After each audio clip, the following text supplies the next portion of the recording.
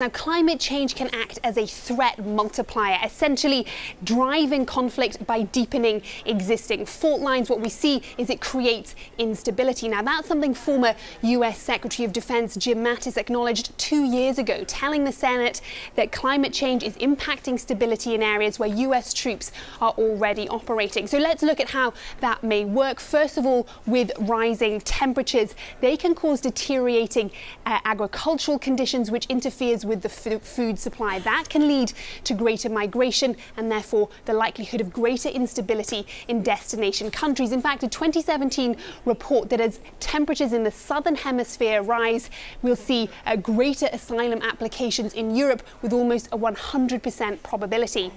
Now, rising sea levels, that's another uh, climate change impact on security too. And we're already seeing this uh, in the Arctic as the sea ice melts, creating a new flashpoint there. That's making the North Pole more navigable and therefore more accessible, setting up a fight over the region's resources. Now, the US, Canada, Denmark, and of course Russia all lay claim to the region, but so do does China. It's described itself as a near Arctic state.